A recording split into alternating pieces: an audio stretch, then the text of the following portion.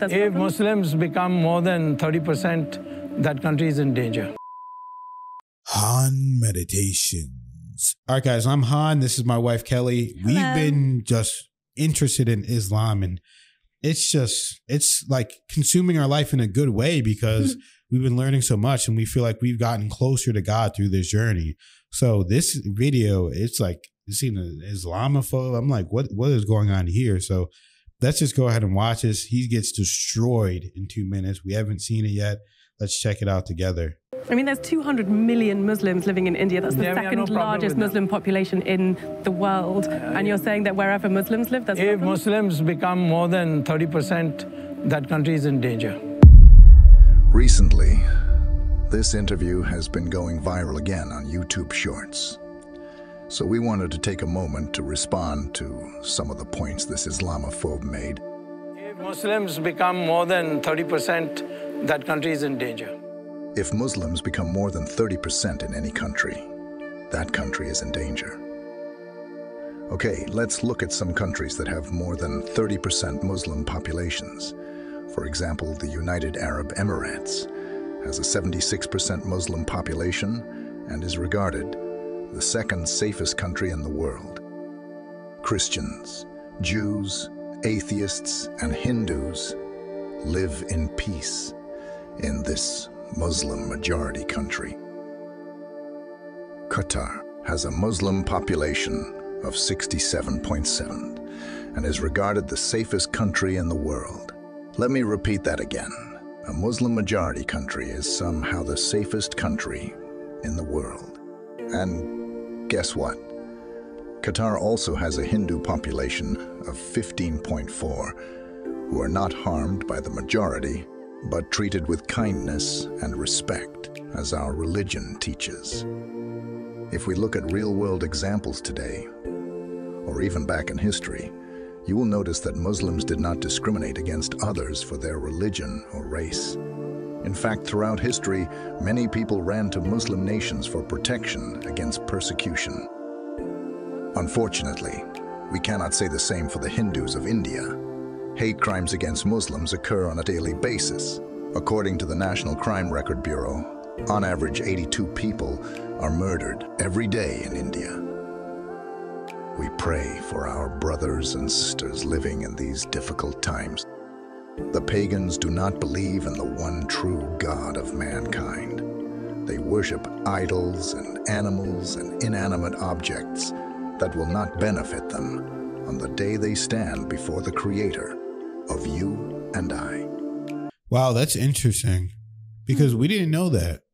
But uh we have a lot of we have a lot of friends that are, you know, brought up in the Hinduism. We did a lot of videos about Hinduism, and a lot of their concepts are very, very interesting. And I believe a lot of them are truthful.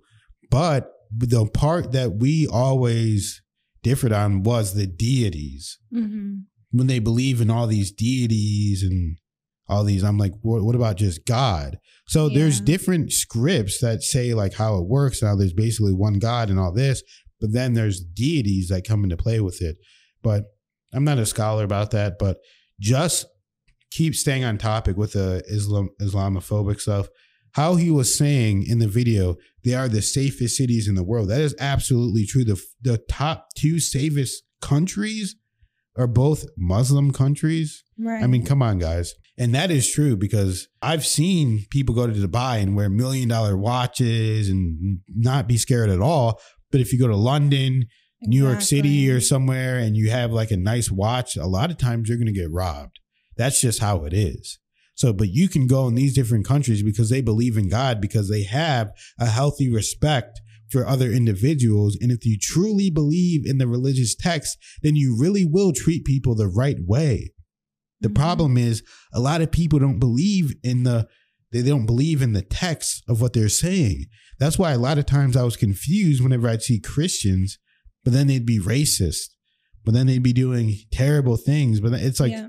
How are you a Christian? You're wearing a cross and you're doing this nasty stuff and you're Judging talking about you're judging people, even shooting and killing people. You're it's just crazy. It's just craziness, hurting children. I mean, there's all kind of crazy things that happen, and there's individuals within each religious sect that use their free will and they're not true believers of the religion, then they do bad things. So that's with any religion that's out there. It doesn't matter what it is. There's false believers that say they're Muslim, but then they go do bad things, that say they believe in the true Hinduism, then they do bad things, that say they're Christians, but then they go do bad things. So there's always going to be bad people out there that try and fake and act like that they're a part and they're doing the right thing. Yeah, and I think a lot of people these days is in a way they're almost afraid of God, but I would tell anyone that feels that way to just look at this example itself. If these countries where the main belief is the main religion is Islam, where the belief system is to put God above all else. Yeah and the people are behaving in the most good and essentially seeing everyone as a brother and sister, someone you would want to treat them how you would like to be treated. No one wants to get stolen from. And so, despite any religion, that's something I always held true just as a principle to live by to treat others as you want to be treated. And God absolutely teaches that we are all brothers and sisters and should treat each other how we would like to be treated because we are all one, we're all family. So if the people who put God the highest and worship Him only, mm. the society is running for the best good of all, that's something that everyone should at least take a hard look at and consider. Oh, absolutely because that's the problem. People don't understand history. People just understand, oh, well, this happens and the news says that Muslims are bad, or they say that this is what's going on. And they, they don't understand the history of the world and what has happened previously and who was actually putting out this media. You have to truly extrapolate what is happening on different facets and different levels of reality.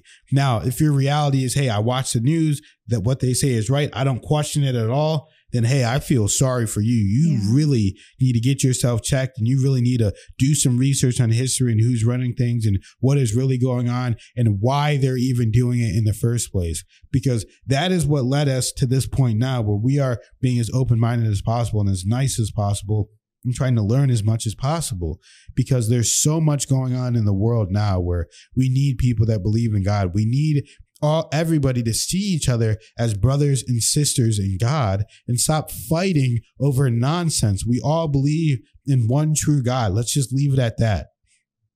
Why does there need to be anything else? There needs to be nothing else. We all believe in the one true God and if you believe in Jesus as a, a, prophet like we do, he was amazing. He was connected to God. Peace be upon Jesus. Of course, peace be upon Muhammad. He played a role in this whole thing as well because we believe. And what happened, the more we started to think about it, is that it seemed like they saw, God saw Christianity They made a couple revisions through Muhammad, peace be upon him. And Jesus did his thing, peace be upon him. But people took what Jesus did in the wrong way. Mm-hmm. Next thing you know, there's the Pope. They start worshiping the Pope. Next thing you know, they start worshiping Jesus himself. He never said, Worship me as a God. They create a whole religion around it. It's just all this stuff became different and changed over time whenever in reality it was something so simple. Jesus was showing people about god. He was yes. teaching people about god about miracles. He was teaching people that you can that even after you die you're not dead you're immortal yes. it wasn't about him dying it was about the resurrection. Absolutely. but they make it seem like it was about the death the death the death. It was about the resurrection the resurrection the resurrection. No it's that anything is possible through God. Exactly. And if we have such a strong connection we are just as capable as Jesus to have such a strong connection with God. And that's how powerful it is. It's all up to you how connected you want to be. But if you are the connected you can be, like Jesus, mm-hmm. it's endless possibilities. You can literally come back from the dead. Even death cannot conquer you if you are that connected to God. And that is what we are supposed to learn from it. And we are all supposed to realize that we can connect more and more with God and more mm. miraculous things will happen in our lives as well. And we'll feel better and we can do more for people and do more for ourselves. Absolutely, Kelly. You said it spot on because it's all about showing that all things are possible through God. How do you think Jesus got resurrected through God? It says that. He didn't say, I'm resurrected because I am God. He said, I did it because it's through God. God is within me. We are all a part of God because God created us. So that is what it's about. But people took it, misconstrued it, and turned it into something else. And when he was on the cross and everybody was laughing at him or even just trying to hurt him, stab him while he's up there, he said, Forgive them, God, for they know not what they do. He didn't say, It's okay, I forgive you. He said, God, forgive them. He always gave the glory and the power to God, even when he was suffering on the cross. Exactly. And that's what people need to realize. So, guys, this is important stuff that we're doing on this channel. I really, truly feel the presence of God within us, guiding us and leading us. If you like the video, please share it. Please like it. Please comment. Please subscribe to the channel Join and just do your part. We're, jo- we're making a community of people that believe in God, that trust God, that have faith in God. And it is And we need all of you. It's powerful what's going on, guys. This is going to change the world. You are here at the beginning and at the precipice of something that is going to change the world, and we're going to do it together through this channel and through God. Thank you guys so much for watching. See you in the next one.